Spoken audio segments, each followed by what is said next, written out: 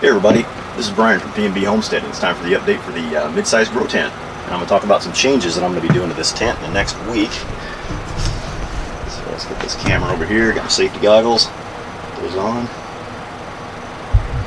Alright. So you can see the uh, hot mix looks like it's grown a little bit. And it's, uh, you know, one of that's I guess I'll talk about one of the things that I'm going to do to the tent before I talk about the actual growth. So what I'm going to be doing next week is I've ordered some uh, under trays because one of the problems I'm having with this tent, if anything, is that I can't thoroughly water these without overwatering them sometimes. And when you see the salad bar LED update this week, you'll see the arugula that I pulled out of here and how it was a little bit oversaturated after the last watering and a lot of it has rotted and fell over and just started to rot. So what I'm going to do is I'm going to take all of these trays, I'm going to transition these into the ones that have the holes in them, the, the 1022 trays that have the holes instead of the solid bottom. So that way I can actually have a tray on here. It's going to be a, a plastic tray that goes across the entire width of this. They'll sit in that, and on the back side of each of those trays I'm going to drill a, uh, a nipple and put in a grommet, a rubber grommet that seals it, and then I'm going to probably put some silicone around that, then run plastic tubing along the side down this side here and into a five gallon bucket that'll be at the base down here which I can take out and then I can use that uh, drainage water and I can dump that into like the tomatoes and the large grow tent.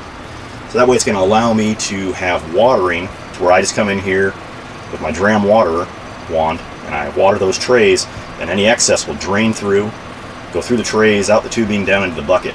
So that way I'm not going to oversaturate these, but I can come down and water them every day if I need to and that way they will stay moist and growing and I'll probably get a little bit more production out of that but I won't have to worry about overwatering because there's been a case in a few of these trays where I've overwatered and then sometimes it's underwatered and you get a little bit of leaf wilt like some of these in the front here. This tray here it's pretty dry right now but I checked it yesterday and it felt a little moist so I thought well I'll leave it. But then overnight with the lights on and it's running a 13 hour cycle then it gets dr dried out over the night. So then, it, you know, I think I'm hindering my growth potential by having not enough moisture in these trays to keep them producing at their maximum capabilities. So that's kind of the update I wanted to give for what I'm going to be putting into this tent next week. Uh, well, I'll be doing that this week as part of my, you know, during the week after work. I'll be putting those trays together and probably come down here and start sliding some of them in, you know, day, day after day. And they should be in here by next weekend so I can show you an update on that. But as far as the trays go, see like this one here, you can see it got a little bit wet back there. And then I don't have the regrowth that I did on the DMR blend on this one, which is a second cut, or a first cut. Both these were the first cut trays that I did about a week and a half ago. You can see there's some good growth on this side, but over there, it's a little anemic. And whereas the tray before, I was keeping wet, and now this one here, it's a little bit too moist. So when I do my waterings, it's not draining off that excess. So that's kind of one of the things I wanted to mention for this week. Uh, the beta mixes are doing really well. They've, you know, grown up quite a bit. I'm going to be moving those into the uh, salad bar LED area this week. I'm going to do a harvest tonight for our salads for the coming week. And then I'll move this first cut back over there to this week.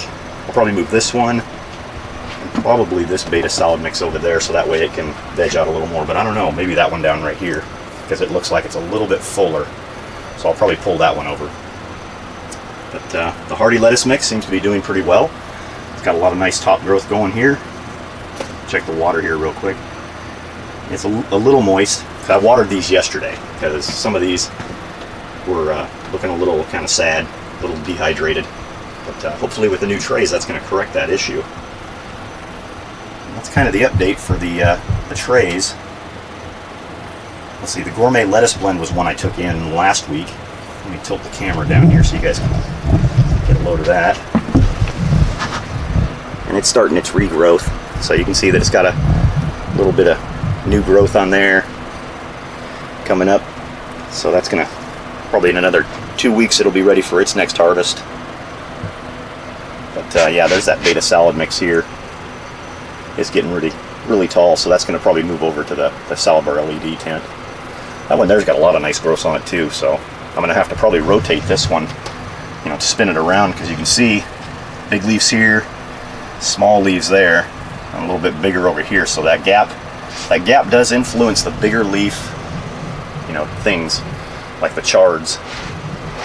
And I imagine if I had kale in here, it would probably do the same type of thing. So the broadleafs are affected by those gaps, but it doesn't seem to be the case for the, uh, the thinner leaf ones. They seem to be able to pick up enough light to where they grow pretty evenly. Because this this one here was over here last week, and as you can see, it's still got a lot of growth pretty evenly all across.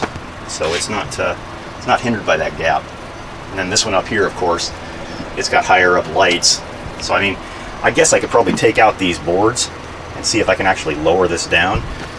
But then I was having the gap, you know, issue where it wasn't really performing like I was expecting it to. So maybe I'll take this one, take this out, and I'll leave the other two down here raised up a little higher so that way they are closer to the lights. Now, that's kind of the update for this week on the mid-size tent. All right, well this has been Brian from PnB Homesteading. I'll talk to you guys again. All right, bye guys.